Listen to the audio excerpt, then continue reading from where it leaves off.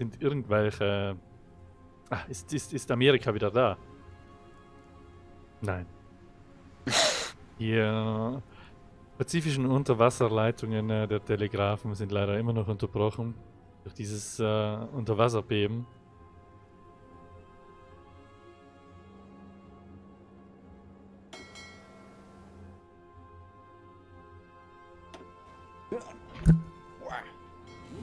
Scheinen repariert zu sein. Ah, sehr gut.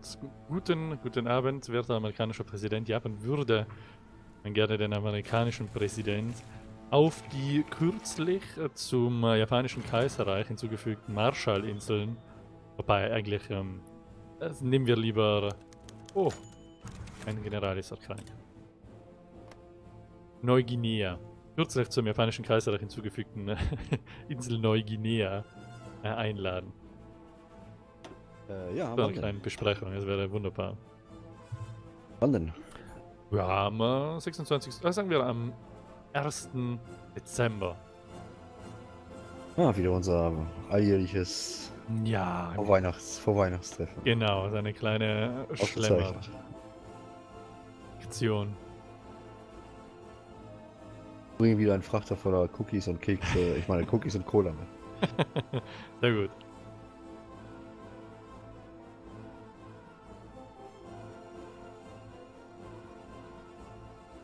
Ah.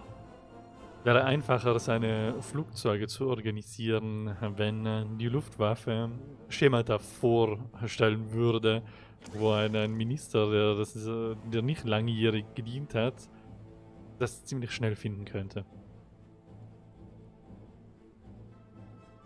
Also für, für mein ungeübtes Auge, der sich um alles zu kümmern hat, als oberster Minister, sieht Marinebomber aus wie Marinebomber. Tatsächlich bin ich da vielleicht nicht zu geeignet. Manchmal nicht so einfach, ja. Ja, vor allem, was sind diese ominösen Swordfish-Bomber? Das ist kein japanisches Modell. Kein japanisches Modell. Das ist äh, Vorkriegs-Marinebomber. Ah,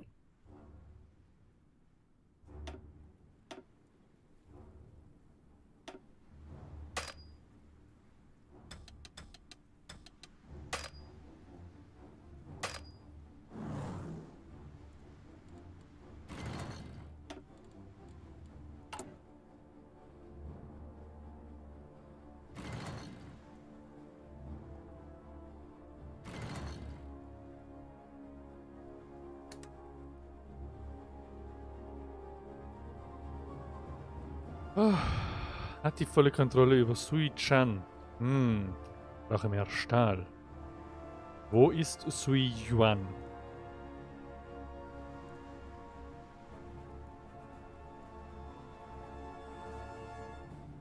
Oh, Italien zieht seine Truppen aus Venezuela zurück.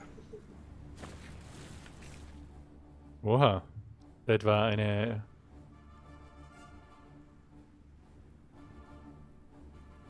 Eine Offensive geplant. Ich vermute, also die amerikanischen Geheimdienste vermuten ganz stark eine Offensive bzw. eine Kriegshandlung in Europa tatsächlich. Oh. Ja, da hätte er aber ein Nachsehen und zwar ein sehr großes.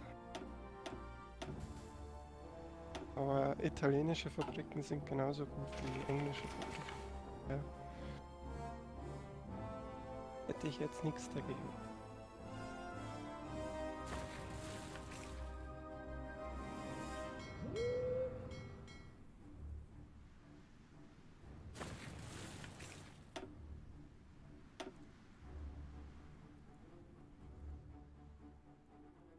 Ich hoffe mal einfach mal, dass es nicht der Fall ist. Also der Engländer ist vorbereitet. Ich kann nur sagen, was passiert. Ich kann nur sagen, was, was unsere Ja, ja, ich was unsere Intelligenz sagt. Also, und die italienischen Truppen ziehen sich aus Südamerika zurück anscheinend.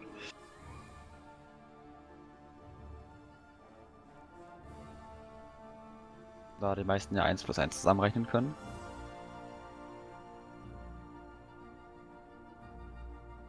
Ja, Informationen sind wichtig.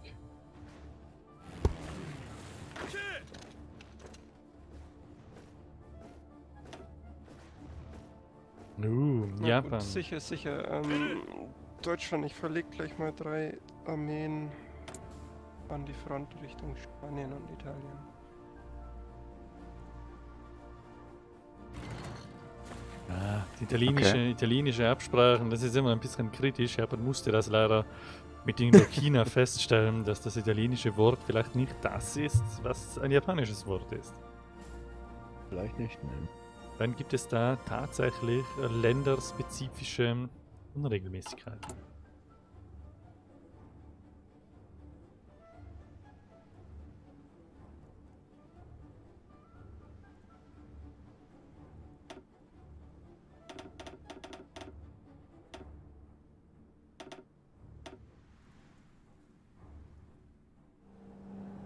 Gut, wem ist es zu verdenken?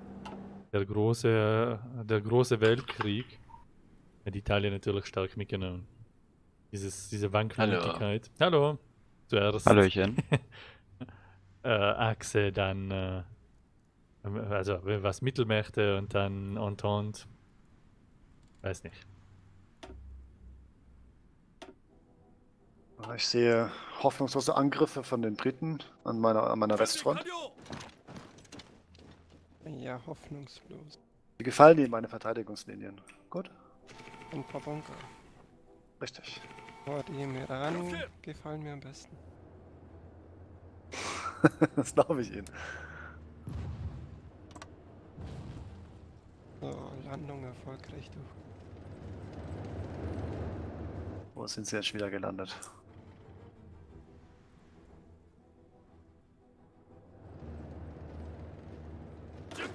Hm?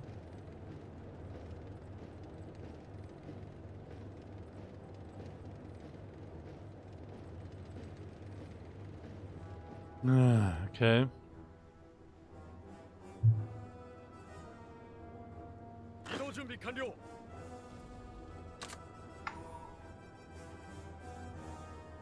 Sollte doch ein ausdrücklicher Befehl gewesen sein.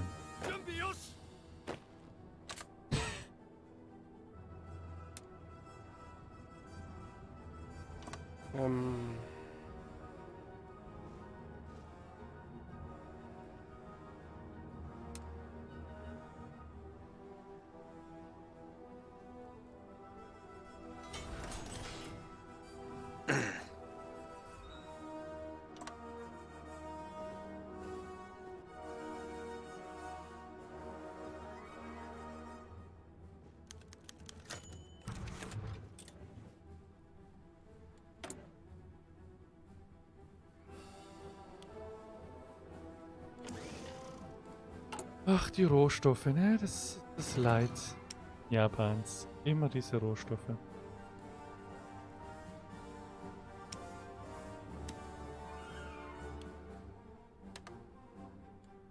wie schaut's denn mit einem Treffen am 20. Dezember in Rom aus, sehr verehrter Nachbar? Ich glaube, damit war der Italiener gerade gemeint. Ja, Äh, ähm, ich. Ähm, welches Datum? der 20. Dezember. Hm. Dürfte ich zu dem Zeitpunkt auch mit dem, mit dem deutschen Führer reden? Okay, Äh, sehr 20. gerne, ja.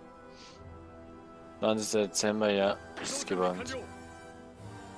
Ähm, ich möchte dem amerikanischen und dem mexikanischen Oberhäuptern, ähm, möchte diese informieren, dass sich die italienischen Streitkräfte aus Südamerika zurückziehen.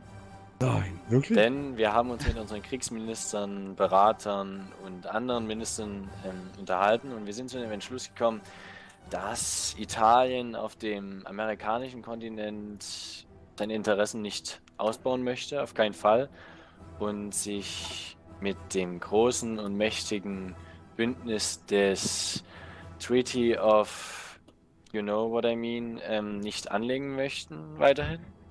Und wir deshalb anerkennen, dass die Ländereien den amerikanischen, nordamerikanischen Staaten angehören. Alles, was für Frieden sorgt, finde ich gut. Eine sehr weise Entscheidung. Vom italienischen Herrscher.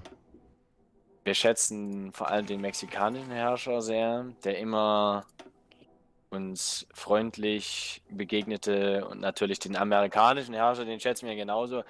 Wir hatten zwar einige Konflikte, aber ich denke, diese könnten wir in Zukunft irgendwann beiseite legen. Wer weiß.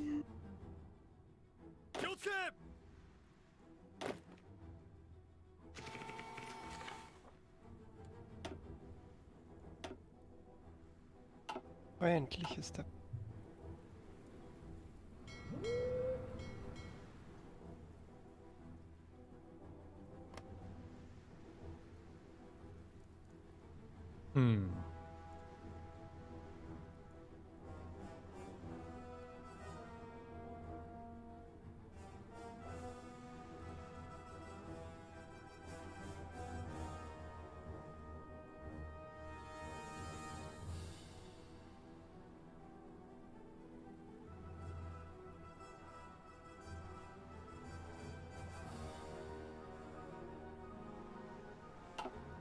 Ja, ich sehe das Problem, meine ähm, Schiffsgruppen sind zu klein. Oh, aber hier ist nicht der Angriff möglich. Natürlich ausnutzen.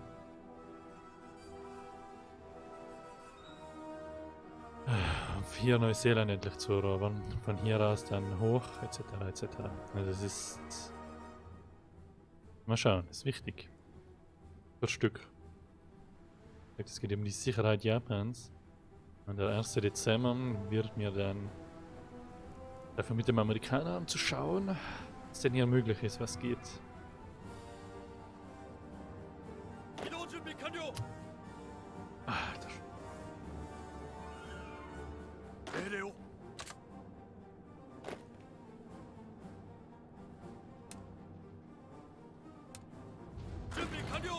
Ach, der Russe möchte, müsste sich bitte äh, nicht wundern, was das gerade für Anzeigen sind bei ihm in Leningrad, da der Niederländer ein paar wahnwitzige Versuche unternimmt, Ja, schon die ganze Zeit. die außerhalb unserer Kontrolle liegen.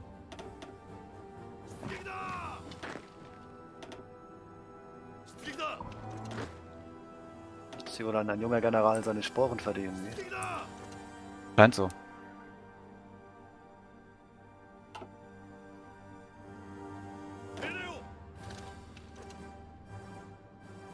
Naja, dann auf zur Konferenz. Auf zur Konferenz. Ah. Hallo, werter amerikanischer Präsident. Hallo, Herr Prime Minister. Uh, was Wie sieht's aus? sind gerade ein paar kritische Zeiten angebrochen in Europa. Wie Sie vielleicht sehen, die Sowjetunion hat äh, stark gegen den Einmarsch britischer Truppen überall zu kämpfen. Und ich glaube, der äh, zentrale, also Central European äh, Alliance denkt über einen Einmarsch der Sowjetunion nach. Ja, das äh, befürchte ich auch.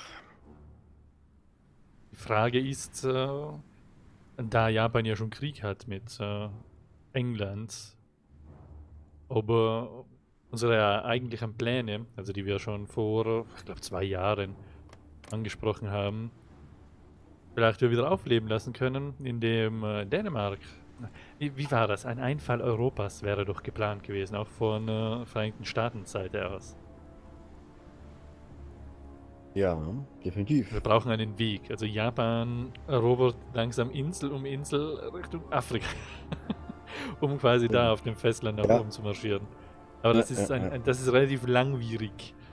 Ja, wir forcieren erstmal hier mit Mexiko erstmal tatsächlich erstmal die Befriedigung der südamerikanischen Kontinents. Ähm, erst da die Italiener sich halt zurückgezogen haben, ist es ein bisschen einfacher geworden, aber dennoch kein einfacher Kampf, weil das Terrain einfach mörderisch ist. Hm, Ja, das glaube ich sofort. Aber definitiv, ja. Ähm, falls Japan, ich weiß nicht, was, was möchte denn Japan haben? Wie meinen Sie das? Territoriale Gewinne oder in diese Richtung? Oder wie? Tak- Taktisch territorial, was möchte denn Japan haben? Ah, Ja, darüber hat sich Japan noch keine Gedanken gemacht. Wichtig ist natürlich eine stabile Versorgung der Truppen. Äh, jetzt zuerst einmal natürlich Forcierung der Marine, äh, damit der Pazifik ausreichend geschützt wird. Das schafft Japan jetzt durch die Überlegenheit der Luftwaffe. Aber Japan forciert momentan Zerstörer, wird dann aber auch in Kürze, aber es ist gerade an die Welt vorangehalten, die, also den Aufbau einer starken, sehr modernen Flotte. Und wie gesagt, wahrscheinlich dann am ehesten über Afrika, Richtung, sich im Weg Richtung Europa zu schlagen, über die Alliierten. Würden wir tatsächlich auch machen, aber zuerst, wie gesagt, Amerika. Und danach von Südamerika nach Afrika rüberspringen an die Westküste. Genau, ist ja ein Krieg mit England ist immer noch, äh, immer noch da, oder? Ja, ja, definitiv. Weil theoretisch, sobald Brasilien unterjocht ist, könnte man äh, über die kleinen Inseln Ascension und äh, St. Helena Richtig. tatsächlich da Stück für Stück Richtung Afrika marschieren. Japan wird versuchen, dem russischen äh, Bären ein bisschen unter die Arme zu greifen, aber ähm, Japans Militärberater machen es Japan momentan sehr, sehr schwierig, da einzugreifen und quasi unterstützend zu Hilfe zu eilen. Was ist denn mit einer japanisch-russischen Allianz? Das ist aus äh, politischen Gründen ist das nicht möglich. Äh, wie Sie wissen, der Komintern ist rein kommunistisch, Japan ist faschistisch und die große asiatische Wohlstandssphäre Ich verstehe, ich ist, verstehe. äh, ist natürlich ein kleines Problem. Das auf, auch in kurzer Zeit nicht zu lösen ist.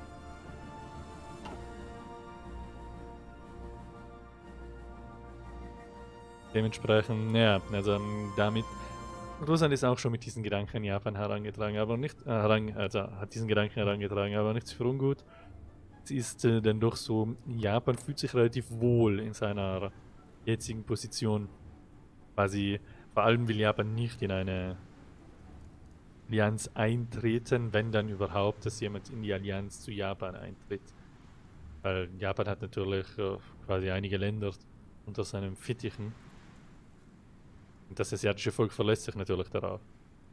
Aber Ja, Japan sichert den Pazifik. Das bedeutet, Amerika hat nichts zu befürchten äh, von der pazifischen Seite aus, weil auch alle Inseln, außer natürlich die französischen, da muss man natürlich Mm. schauen, sichern. Genauso von Amerikas Seite aus. Also wir hegen keinen Groll gegen das japanische Volk. Ich weiß, wir Keins- haben In keinster Weise. Wir haben äh, in einer vorherigen äh, Sitzung haben wir besprochen, die Ressourcen hier aufzuteilen im Pazifik, aber es war leider so eine, schwierige Möglichkeit, wie Sie das vielleicht festgestellt haben, hier die Inseln so zu teilen, wie es möglich ist. Aber ich importiere zum Beispiel alle Rohstoffe, die ich brauche, aus Amerika. Dementsprechend würde Japan Zivilfabriken zur Verfügung stellen, um äh, Konsumgüter, also um Amerika die Möglichkeit zu geben zum Non, also zum 50-50 Pari-Pari, also zum Selbstkostenerlass quasi Gummi aus Japan zu importieren. Das Quasi, tun wir bereits schon. ah, sehr gut. Quasi Japan sponsert 10 Fabriken für Stahl und Amerika sponsert 10 zurück für äh, Gummi und dann sind wir quasi, wie jetzt hätten Ja, diese alles gut. Ressourcen. Sehr gut. Alles gut. Ich sehe gerade, da wird relativ viel Druck gemacht auf Russland. Hm, ja. Wie gesagt, viele Fronten. Ja, ja, in Rumänien wird angegriffen. Oh ja. Russland, Russland tatsächlich nicht so viel freie Mannstärke. Ne? Ja, Russland ist auf umfangreich. Ja. Es wird gerade auf ganzer Front angegriffen. Nicht, dass Russland in sich zusammenfällt, dann hätten wir eine Katastrophe. Das stimmt allerdings. Ja, ich glaube, Japan muss ein paar mehr Truppen schicken. Tun sie dies. Eigentlich Expeditionstruppen hinschicken. Ah, es wurde eigentlich nicht Leider nein. gewollt von Japan, aber es wird nichts helfen. ja. Wenn Russland fällt, das wäre nicht gesund.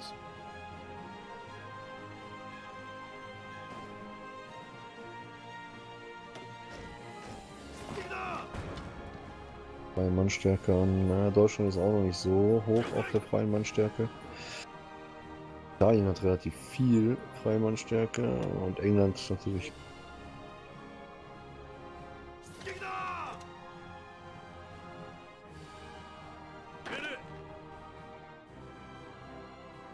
Ähm, weiß denn Russland Bescheid, dass er die Staaten, die er eingenommen hat, powern muss?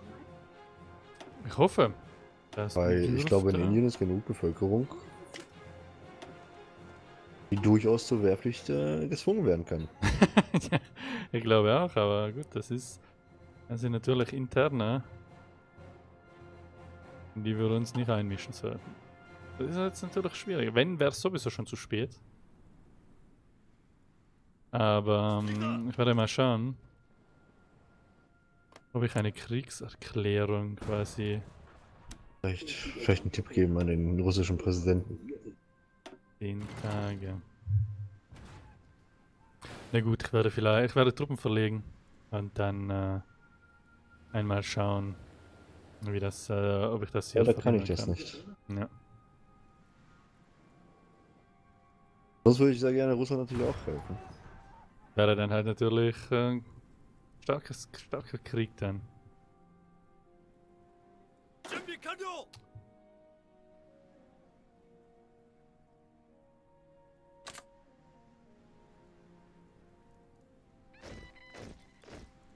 Ja, gut, na gut, dann haben wir quasi alles besprochen.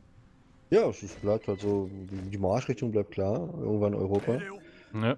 Zwischen unseren beiden Ländern absolut keine Feindseligkeiten. Ich habe auch keine Flotte im Pazifik stationiert. Ja, wie gesagt, ist auch nicht nötig. Also Japan äh, steht immer zu seinem Wort. Ich habe ein kleines ähm, Holiday-Domizil in Australien. Ja, ich hab's gesehen.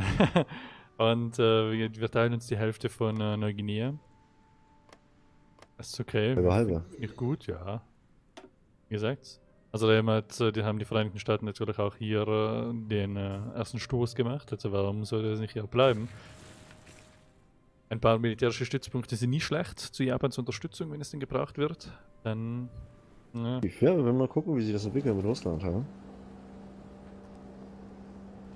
ja, wie gesagt, ich werde jetzt äh, 75 Divisionen verlegen. Vielleicht sogar 100 und dann schauen. Ja, dann wünsche ich viel Erfolg. Dann Ah. schließen wir uns den anderen mal an. Wird interessant. ah. Wieder zurück. Nein. Hallo, ihr. Ähm, sind denn die Telegrafenmasten bei dem Amerikaner wieder in Ordnung? Ja.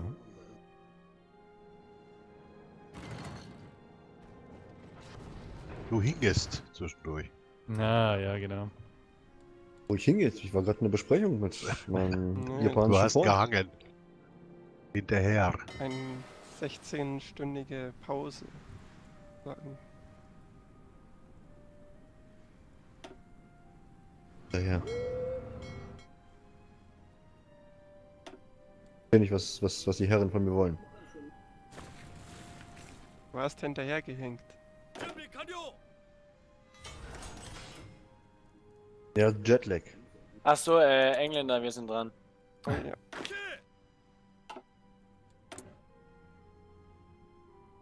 Äh, wie sieht's aus bei Russland? Kann Russland die Front halten? Ich habe gerade äh, äh, auf, aufgrund der allgemeinen, äh, Kann vor die. Herrschaft über die Slowakei. dass das äh, äh, äh, die Verwaltung der Truppen Chefsache ist, ähm, ist der russische Zar gerade etwas unpässlich und muss die Verteidigung organisieren, aber die Verteidigung steht soweit. Ja, Japan hat jetzt ein paar Generäle entsandt, um dem Russen ein bisschen Ei. Hilfe zu leisten. Da ich äh, nicht so schnell eine, eine Unterredung mit dem russischen Präsidenten wohl schaffen werde, äh, gibt, gibt der amerikanische Intelligence Service dem russischen General den heißen Tipp, Staaten zu coren, die es übernommen hat. Damit die freie Mannstärke etwas höher wird. Ah, das ist natürlich eine, ein äh, sehr guter Tipp. Wir bedanken uns. Ich bedanke mich dafür. Sehr gerne. Hm, Ich kann auch nicht verstehen, warum äh, diese langjährige Front hier, die quasi für Stabilität in Europa gesorgt hat, jetzt auf einmal wieder aufbricht. Ähm, ja, das muss ich Ihnen mal in Ruhe erklären. Der Brite ist schuld. Es Nein, der Brite ist nicht schuld. Die Unfähigkeit mancher Generäle. Gepaart Ja. mit der, mit, der, mit der chaotischen Unübersicht des Oberkommandierenden. Sondern der Brite ist der Kriegstreiber, das wollte ich damit sagen. Der Brite ist die kriegstreibende Kraft hinter diesem teuflischen Plan. Sowieso. Also es ist äh, eine Ko ein koordiniertes Vorgehen äh, des polnischen und deutschen äh, Oberbefehlshabers, äh, quasi dass Russland hier angreift. Ähm, nein, der Deutsche hat damit rein gar nichts zu tun. Aber deutsche Truppen rücken ebenfalls vor. Ja, die Deutschen sind tatsächlich, greifen tatsächlich nicht an. Aber sie sichern eroberte Gebiete. Eine- Nein. Ich halte genau das, was von Anfang an so war, halte ich. Das er nicht vor.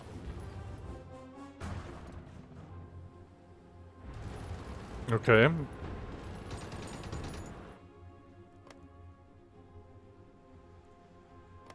Zur Sicherheit hat sich Japan noch einmal informiert, wie es mit den Flaggen aussieht, weil Japan kennt sich natürlich nicht so gut aus in Europa. Aber es sieht so aus, als würde hier in der Provinz, die Polen erobert hat, äh, jetzt deutsche Truppen in russischen Bunkern äh, sich bewegen. Obwohl die Farben jetzt relativ ähnlich sind, äh, pff, sieht es doch aus, als wäre es die deutsche Flagge, die sich hier mit Wo äh, denn? Meine Herren, wo denn? äh, diese Bunkeranlage auf der Seite von Ostpolen, in welchen gerade Polen und das legionäre Rumänien sich äh, Kojen teilen mit, naja, mit deutschen Soldaten augenscheinlich.